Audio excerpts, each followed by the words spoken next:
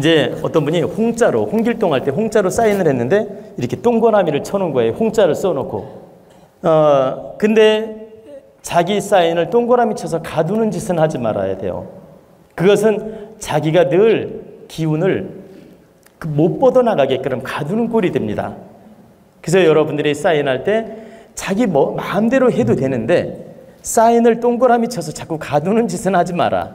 이렇게 가두는 것은 득되지 않다 이 말이에요.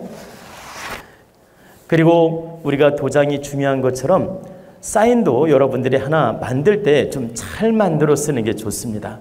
그리고 사인을 할 때는 모나지 않게 하는 게 좋습니다. 글씨를 했는데 뾰족 뾰족 뾰족 뾰족 아시나요? 이게 둥글둥글한 느낌. 사인을 했을 때 둥글둥글한 느낌으로 하는 게 좋아요. 그래 에너지가 순환 작용을 해서 득되는 작용을 합니다.